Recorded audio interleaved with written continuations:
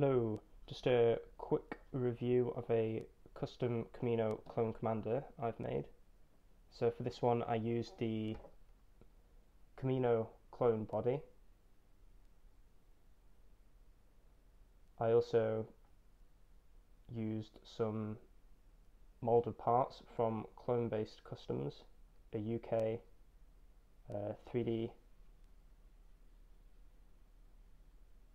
3D printer guy that I'd recommend. So he made the holsters here, these pistols in this bit, and the pauldron, which is very nice.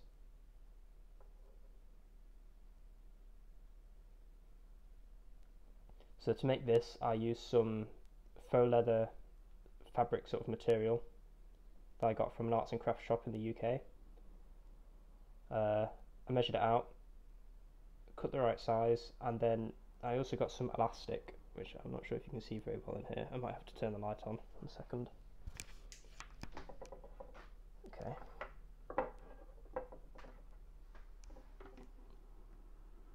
So there's some elastic in there.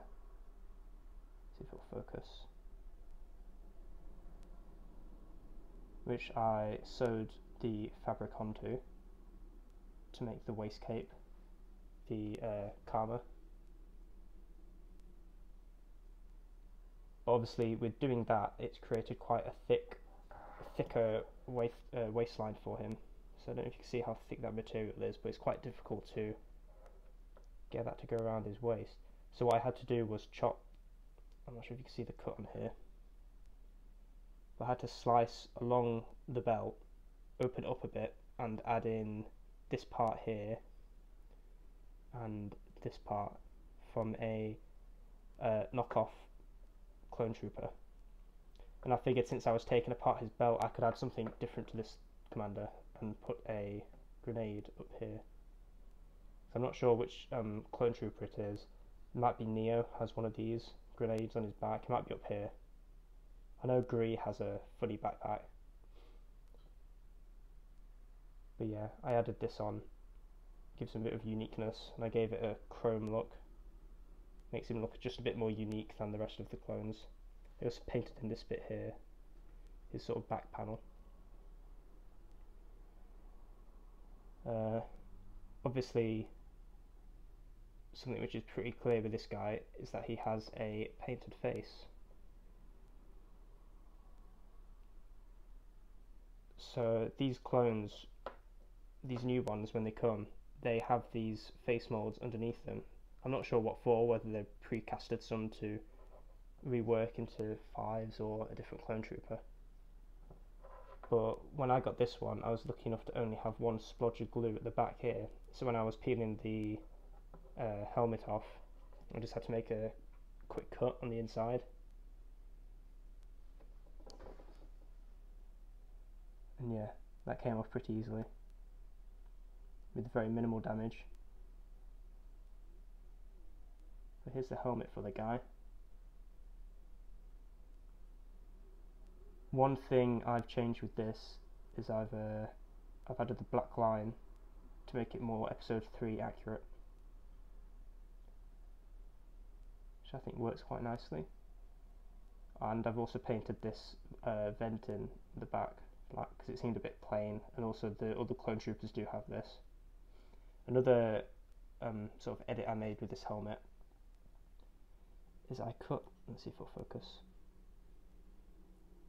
I cut a gap here just below the chin so that his nose could fit in because this guy originally I wasn't planning to have him with a helmet on just because every time I'd put it on it would scratch away from his nose but I used a matte uh, acrylic finish, like a, a, spray, which has uh, protected the paint very well. and It also means it's a bit more sturdy now when I can put the helmet on. But I added the gap just to add a bit more security, so that when I pop the helmet on, it doesn't really take much more effort because these these guys obviously they weren't made to have their helmets removed. Um, they were they were glued on. Uh, it means it's quite a tight fit when you do take these off. Let's see if it'll focus. So yeah, I decided not to touch up the helmet too much. Because I figured these guys, Kamino clones, they're probably quite basic. They wouldn't have much personality about them.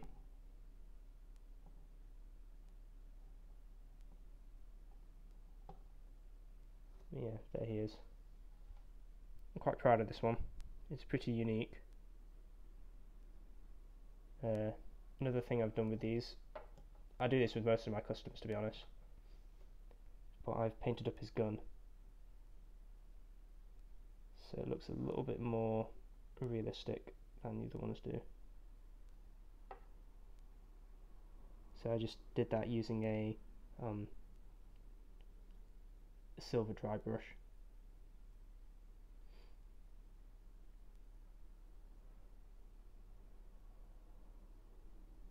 So that's one weapon, and he has another one, which I, oh it's here. Again, sorry for the clunky nature of this review. I figured I'd just get this out rather than do a step-by-step -step guide. So this is a bit harder to tell, but these guns were printed in a, um, a much darker black. Yeah, there's some dry brushing on there too.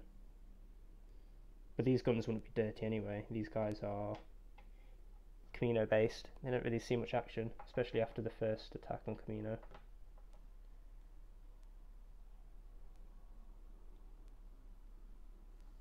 But yeah, it's come together very well, I think. It looks very realistic, and I, I do like this sort of leather style uh, kama. It's what I'd imagine the uh, clone troopers that you see in the Clone Wars with the black kamas. What I'd imagine that uh, that they would look like. This sort of leather material.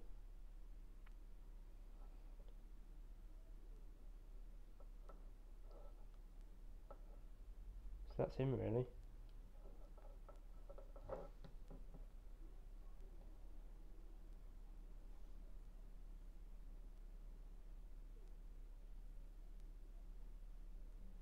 Put this video out to show you guys I'm still here, still making customs.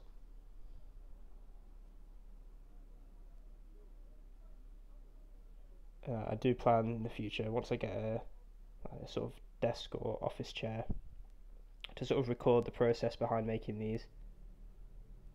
Because it is interesting.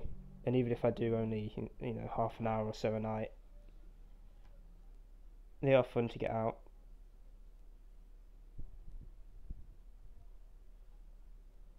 Yeah, definitely a very unique trooper.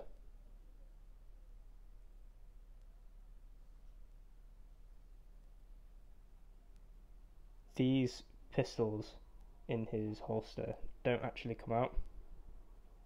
So they came loose originally, but they're very um like brittle plastic because it's so small. Uh, you put them in his hand and they broke a couple times on me, so I've had to glue them and fix them together, and then I've just decided to pop them in here just because it saves a lot of effort.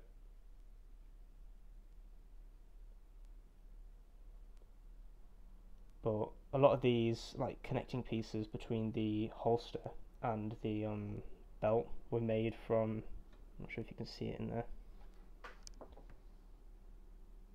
were made from uh, knockoff clone troopers so technically this figure is sort of an amalgamation of uh, two clone troopers even though the only other part it uses from other troopers are from its belt.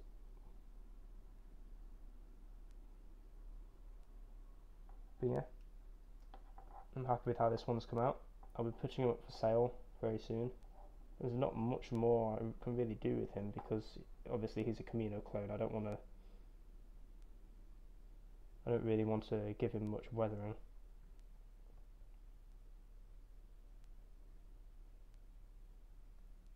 But yeah, it's quite nice. It's quite nice as well to work on a authentic Black Series mold rather than uh, knockoff. Especially with that new face sculpt underneath. I can't take it off minute. I'll just do that quickly. But